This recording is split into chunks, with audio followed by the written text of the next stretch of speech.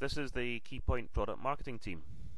This short video is comparing the word prediction performance of Adaptxt and XT9 side by side so users can actually see that Adaptxt gives better predictions and saves more keystrokes than XT9. Adaptxt is on the left and XT9 is on the right. We're going to start typing in a phrase, we run the risk of failure and this is from a set of phrases used by academic usability testing professionals. It's also worth noting that this test is set up for the first time use. This is the experience a user gets the first time they use Adaptxt. It's the first time out the box and in the hand experience. So the first thing to note is the Adaptxt suggestion bar. Unlike XT9, the Adaptxt suggestion bar is always present. It doesn't come and go, so it gives the user a consistent experience. The reason it is always visible is Adaptxt not only completes words, it suggests the next word in advance even when you're not typing. So let's see it in action. We are typing the phrase, we run the risk of failure. Uh, we start by typing W, and in response, Adaptxt immediately offers with, we, and was.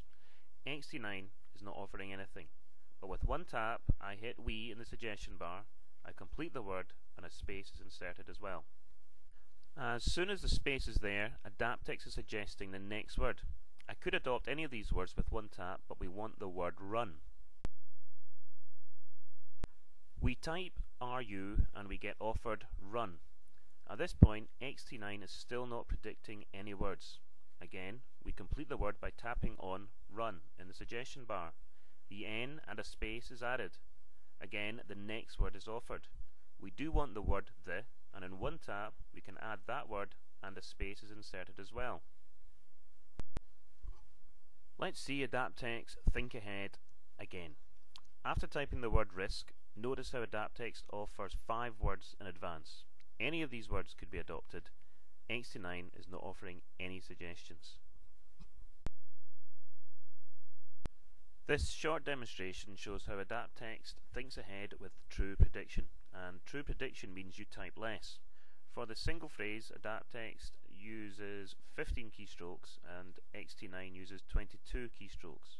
For usability professionals watching, this puts Adaptxt keystrokes per character at 0.57 and XT9 at 0.85. This result is all the more interesting when you realise that this is the out-the-box experience. But it is more important to know that Adaptxt learns all the time, so for the user, predictions become more relevant, accurate, and personal the more Adaptxt is used. If accuracy is improving, it means users are typing less and less. The next video shows the effect of real-time learning on word predictions is immediate. Thanks for watching this video. You can download the Adaptxt beta for Nokia S60 and Windows mobile devices from adaptxt.com. There is a survey you can fill in and when you do we'll send out some Adaptxt supersonic stunt planes. You can check out the stunt plane videos at adaptxt.com forward slash supersonic.